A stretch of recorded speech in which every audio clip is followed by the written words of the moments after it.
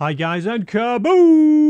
Yes, in today's video we got a really fun and powerful Town Hall 16 attack strategy with 14 druids. So this is the army, we're going to check out some replays in just a moment. A couple of root riders, one minion, six valkyries, a headhunter and 14 druids. Spells are going to be two freeze spells, a clone spell, two earthquake spells, two overgrowth spells, a rage spell and a poison spell. Clan castle troops depends on the base. If you're funneling with max level siege barracks, six valkyries and a minion. If you're going to take out the Town Hall, a couple of yetis inside the battle blimp. This is the hero equipment I'm using Spiky Ball and Earthquake Boots on the King, Frozen Arrow and Invisibility Vial on the Queen. Very importantly for this attack strategy, Fireball and Rage Gem on the Grand Warden, and Haste Vial and Hog Rider Puppet on the Royal Champion.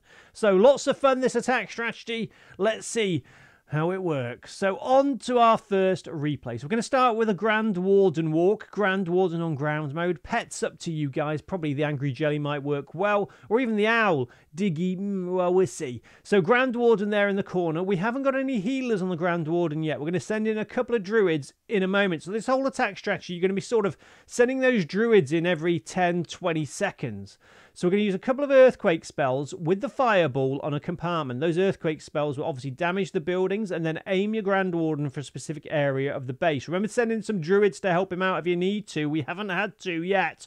And the fireball doing some nice damage there. Then we're using the king to sort of draw the Grand Warden back to where the main army will be. Siege barracks on the right hand side. Couple of root riders there. We've got a clone spell to clone those root riders later if we need to. And then it's all about just using your druids. Don't send them all in at once, sort of just feed them in every 30 seconds or so to keep that army topped up with health. Of course, after 30 seconds, or if they get knocked out at max level, the druid will turn into a bear, which is a good troop, but you don't want to waste them all at the beginning and have bears suddenly in the base. You want a couple here, a couple of there to help funnel your troops, help with the Grand Warden, maybe one on the siege barracks to help then send in your army. You've got those overgrowth spells to help as well. Your heroes will do the main damage in this attack strategy. And as we can see there, I've just sent in another druid. We've got druids in the base.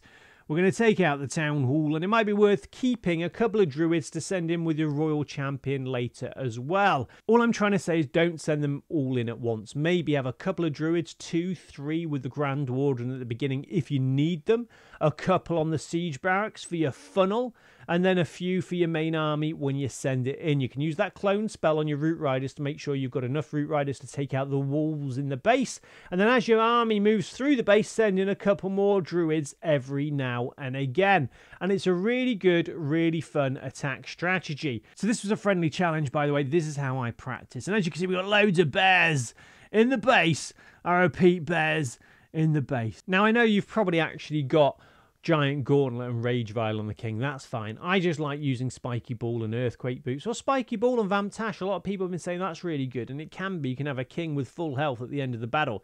So again, another replay, this time on hard mode. I don't like this base, guys. Double invisibility spell tower at the core of the base can be nasty. So Siege Barracks on one side of the base, King on the other side with a Druid. And the Siege Barracks does have a Druid or two to help out, help funnel.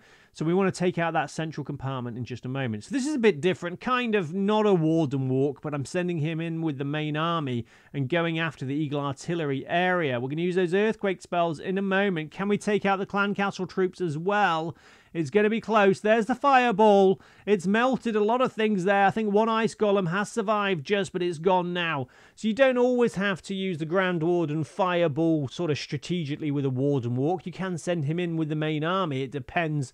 I mean, this attack was a... I didn't really plan it very well, but it's going to work out okay in the end. So we need to try and get towards the town hall now. But we do have overgrowth spells. So if we use an overgrowth spell on the left-hand side, that's going to help funnel our troops into the centre of the base.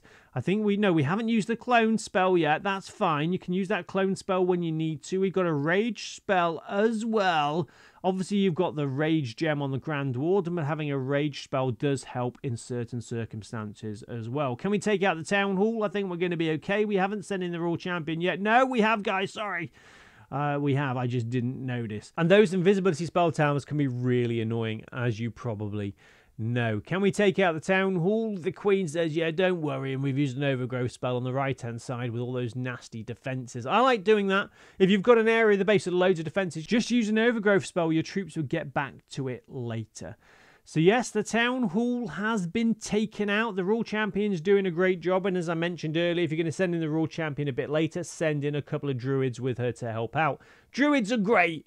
They really are a good troop, especially for your heroes for setting up the attack. Warden walks, Queen walks, funneling, send them in with the siege barracks. We've got 14 of them, guys. We've got loads. Now, can you do this attack without the fireball on the Grand Warden? I think so. You can still do a bit of a Warden walk. You don't need the fireball. You can set up a funnel and a siege barracks on the other side or the king and still sending your troops into the base. It might even be stronger using Eternal Tome and Healing Tome. I don't know, guys. You could test that out. So here we go. Another attack with the Grand Warden, a bit more of a traditional Warden walk on the right-hand side of the base. Again, we haven't sent in any Druids yet. We don't need to as the Grand Warden's not really taking any damage. Remember, you've got about 30 seconds worth of healing from those druids before they transform into a bear. So here we go. Two druids should be enough with the Grand Warden there. I'm sort of looking towards where we can use the fireball in just a moment. With the earthquake spells, don't use them too soon because there might be battle builders there repairing things. So there we go. Can we take out that whole compartment? It's going to be close.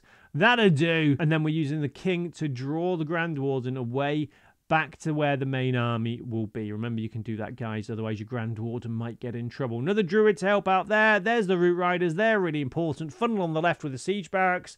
And like I said earlier, try and use that Clone spell for your Root Riders when they're further into the base. Obviously, you still need to try and take out walls. Now, we're going to use the Overgrowth spell to neutralise that compartment further down. There's an Invisibility spell tower being annoying, but hopefully we can take out the town hall in just a moment. So I've had a lot of fun with this attack strategy. 14 druids, something completely different. I think it does work. I think it's a lot of fun. I think Fireball is a lot of fun as well, guys, if you've got that. And now we're going to send in the Royal Champion on the left-hand side. Remember, if you enjoyed the video today, of course, leave a like for Mike the Minion. Remember to hit that subscribe button and notification bell. Join the Sir Moose Army for more videos like this. And if you are new to the channel, guys, you're still watching, thank you.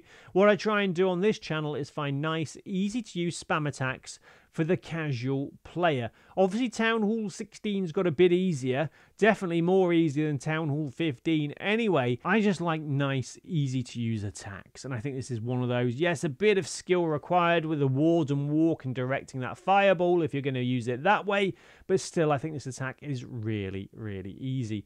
So, Royal Champion now moving through the base. We're going to be okay. There's bears everywhere. So guys, I do hope you've enjoyed the video today. One last thing I will mention is on this channel, we do have something called a creator code. That's where you can help support your favorite content creator in-game by using their code before making any purchases. Our code is Code Moose. Any support would be amazing, and you do need to renew it once a week. Anyway, take care. Remember to practice your funneling, and I'll see you later, guys. Bye!